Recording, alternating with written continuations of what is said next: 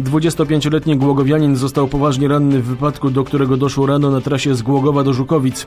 Kierowane przez niego BMW wypadło z drogi i roztrzaskało się na drzewie. Kierowca ma złamaną rękę i obie nogi.